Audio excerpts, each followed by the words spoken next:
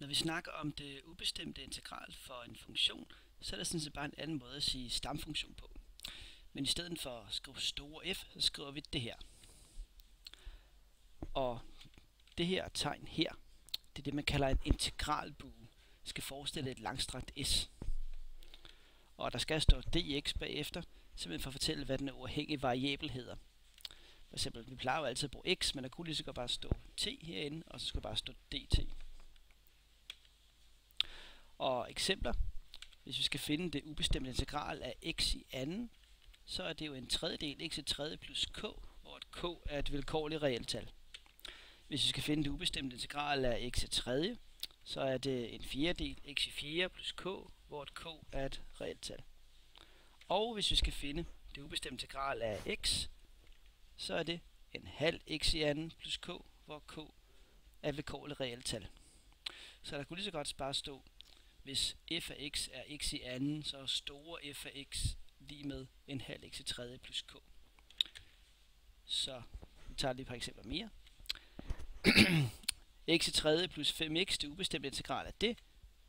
Det første led integreret giver en fjerdedel x i 4. Det andet led giver 5 gange en halv x i anden, eller 5 halve x i anden plus k. k tilhører r.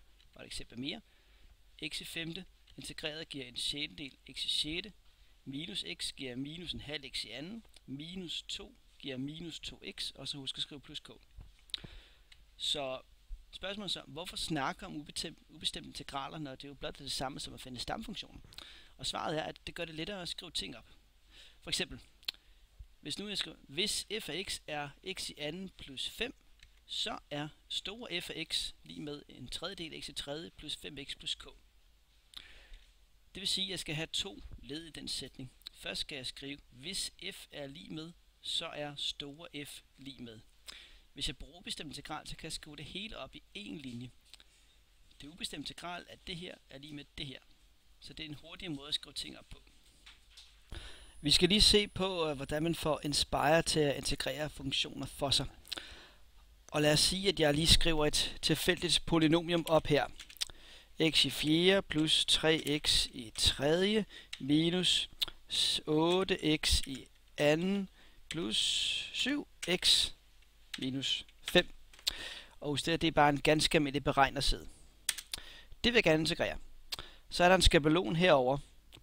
Her. Der, hvor der står ubestemt integral. Så dobbeltklikker jeg på den. Der. Herinde der skal funktionen stå. Nu kan jeg lige gå op og trykke Enter for at kopiere ned. Og så skal man skrive D, øh, skrive X her. Og så Enter. Så er den integreret. Og så ser vi, at x i 4 er blevet til x i 5 divideret med 5. Det samme som en femtedel x i 5. 3x i anden, øh, slutter 3x i tredje, er blevet til 3 gange en fjerdedel x i 4. Altså simpelthen bare integreret x i tredje, og så gange 3 på bagefter x i anden er blevet integreret, og minus 8 er ganget på bagefter. x er blevet integreret, og 7 er blevet ganget på bagefter. Minus 5 er blevet til minus 5x. Og det der så er lidt irriterende ved en spare her, at den gider ikke at skrive plus k.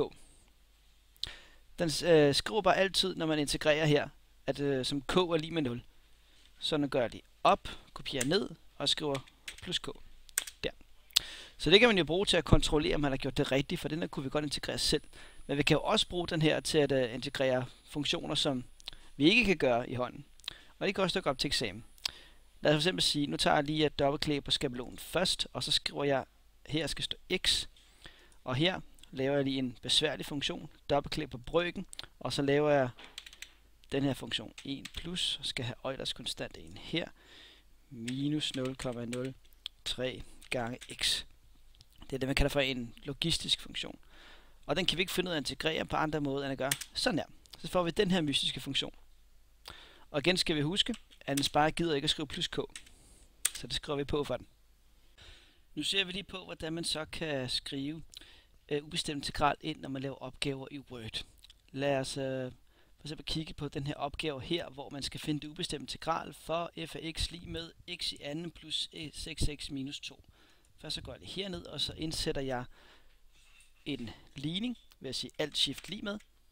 Og heroppe i ligningsfunktioner, der er nogle skabeloner, og her ved integral, der står der den her det er et ubestemt integral. Der er også nogle andre her, hvor der også er nogle, fire, hvor der også er nogle øh, tomme firkanter for oven og for neden ved integralbuen. Det er det bestemte integral. Det skal vi ikke bruge lige nu.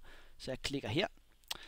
Og inde i firkanten, der siger jeg så parentes, mellemrum, sådan så parentesen bliver tilpasset med en rigtig størrelse. x hat 2 mellemrum plus 6x minus 2 og så ud af parentesen dx lige med. Og så skal vi skrive, hvad resultatet er.